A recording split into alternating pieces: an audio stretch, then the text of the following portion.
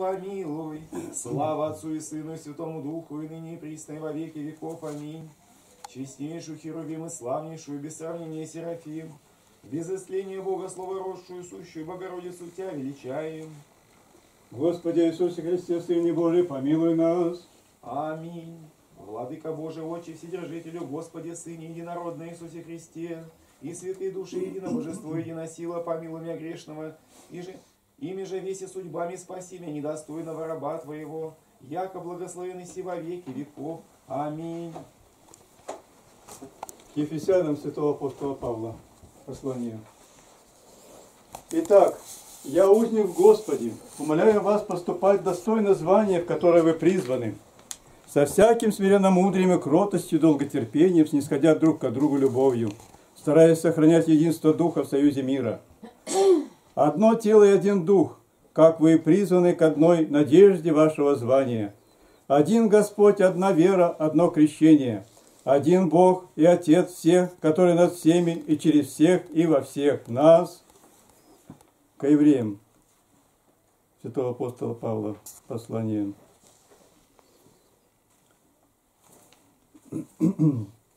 Таков и должен быть у нас первосвященник, святой, непричастный злу, непорочный, отделенный от грешников и превознесенный выше небес, который не имеет нужды ежедневно, как те первосвященники, приносить жертвы сперва за свои грехи, потом за грехи народа, ибо он совершил это однажды, принеся в жертву себя самого. Ибо закон поставляет с первосвященниками человеков, имеющих немощи, а слово клятвенное после закона поставило Сына на веки совершенного. Главное же в том, о чем говорим, есть то, мы имеем такого первосвященника, который воссел одесную престола величия на небесах, и есть священнодействователь святилища и скинии истины, которую воздвиг Господь, а не человек. Во имя Отца и Сына и Святого Духа. Аминь. На второе послание к Коринфянам. Апостол Павел говорит о том, чтобы не молились о погибели врагов. Не приступайте к Богу с молитвою о погибели врагов. Ибо если иметь врагов есть уже преступление, то представь, какое преступление молиться о погибели врагов. Ты должен просить прощения и о том, что имеешь врагов, а ты хочешь еще и обвинять их. И как ты можешь получить прощение, когда обвиняешь других, и при том в такое время, когда сам имеешь нужду в великой милости? Ибо, конечно, ты приходишь сюда с тем намерением, чтобы молиться о прощении своих грехов. Итак, не припоминай чужих грехов, чтобы не припоминали твоих. Если ты, молясь Богу, говоришь, порази врага, то сим заграждаешь себе уста и связываешь себе язык. Во-первых, потому что в самом начале молитвы тот час приводишь в гнев судью. Во-вторых, потому что просишь совсем не того, о чем на самом деле молишься. Ибо если ты молишься об отпущении грехов, то почему же просишь о наказании кого-то? Совсем напротив, надлежало бы поступать тебе. Молись и за самих врагов, чтобы с дерзновением молиться и за себя. А ты теперь, требуя казни грешников, осуждением их присваиваешь себе место судьи, что соделывает тебя недостойным никакого помилования. Когда же будешь молиться за врагов, то хотя бы ты ничего не говорил в молитве о своих грехах, ты все исполнил. Припомни, сколько жертв перечислено в законе. Жертва хвалы, жертва исповедания, жертва спасения, жертва очищения и другие бесчисленные – а ни одной нет против врагов, но каждая за свои грехи или за какие добродетели. Разве к другому Богу ты приступаешь с молитвой? Но ты приступаешь к тому же Богу, который сказал, молитесь за обижающих вас. Матфея 5 глава 44 стих. Как же ты вопиешь против них? Как дерзаешь просить Бога, чтобы Он нарушил собственный свой закон? Это личина неприлично молящемуся рабу. Всякий должен молиться не о погибели другого, но о своем спасении. Для чего же ты принимаешь на себя вид молящегося раба, а говоришь как обвинитель? Притом, когда о себе молишься, то и чешешься, и зеваешь, и развлекаешься бесчисленными помыслами, а погибели врагов молишься со всем вниманием. Подлинно дьявол знает, что мы в это время поднимаем меч на себя самих, потому он нисколько нас не развлекает и не останавливает, чтобы таким образом больше повредить нам. Но меня обидели и огорчили, скажешь ты. Так молись о погибели дьявола, который несравненно более всех обижает нас. О сем и предписано тебе молиться. Так, избави нас от лукавого. Матфея 6 глава, 13 стих. Ибо он один, непримиримый наш враг, а человек, что бы он ни делал, всегда друг и брат наш. Посему на дьявола все мы должны обращать гнев свой о его погибели должны молить Бога и говорить, сокруши сатану под ноги наши, ибо он же и людей делает врагами нам. Если же ты будешь молиться о погибели врагов, то будешь молиться о том, чего хочет твой непримиримый враг дьявол, между тем, как молитва за врагов есть молитва против от самого. Итак, для чего ты, оставив в покое истинного твоего врага, терзаешь собственные члены и таким образом – делаешься лютее зверя. Ты скажешь, он обидел меня или отнял у меня имение. Но и в этом случае о ком более должно плакать? О том ли, кто потерял, потерпел обиду? Или о том, кто обидел? Об обидевшем.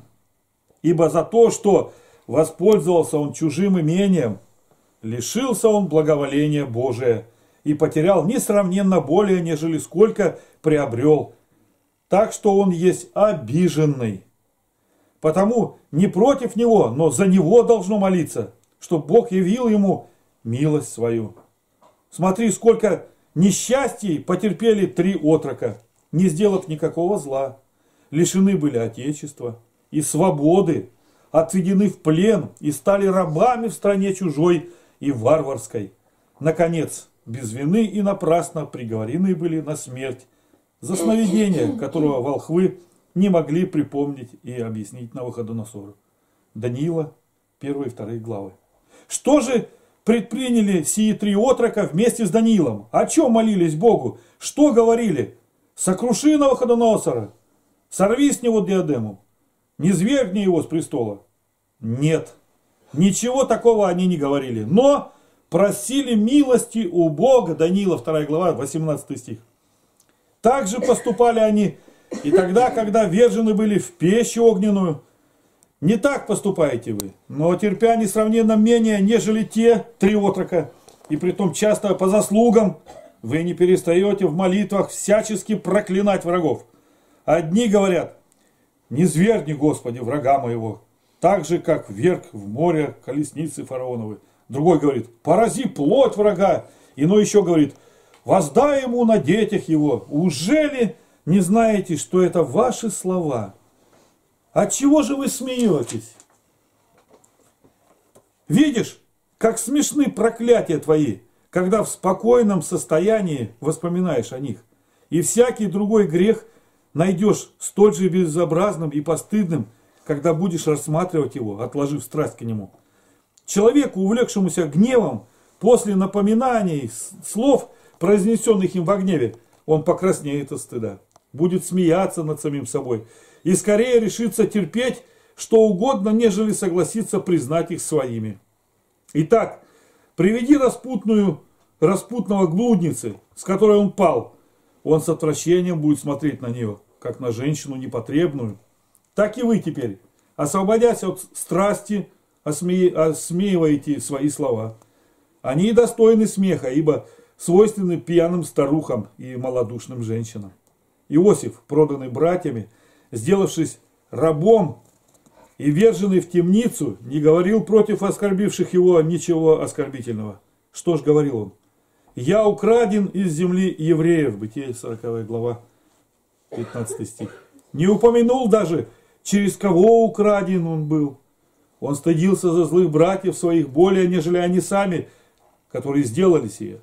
Точно так же и мы, а делающих нам обиды, должны жалеть более, нежели они сами, ибо весь вред переходит на них. Посему, как обвиняющие, вбивающие гвозди в голову, и тем гордящиеся, достойны более сожаления и слез, нежели проклятия, как погубляющие свои души. Да и нет презрения души, которая в молитве проклинает других и сквернит язык, который приносит Богу такие жертвы. Ты человек, не изливай же из уст твоих яда аспидов. Человек ты, не будь же зверем.